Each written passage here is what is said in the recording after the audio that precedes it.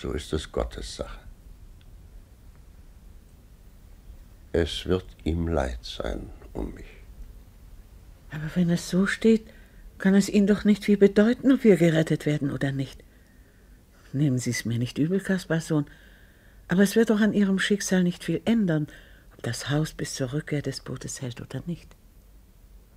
Kasperson hatte für ihre Worte ein leises, zustimmendes Lachen. Er stand jetzt offensichtlich unter der Wirkung des Wacholdergeistes aus dem Fässchen der Bauersleute. Und Marlin hielt wohl ziemlich Schritt mit ihm. Nicht viele Menschen können sich von dem Glauben frei machen, es würde ihnen wohl anstehen, Schöpfer der Welt zu sein. Aber gehen Sie einen Schritt weiter, Madame. Nicht viele Menschen können sich von dem Glauben frei halten, dass die Welt, mit der sie es zu tun haben, das Werk ihrer Einbildungskraft sei.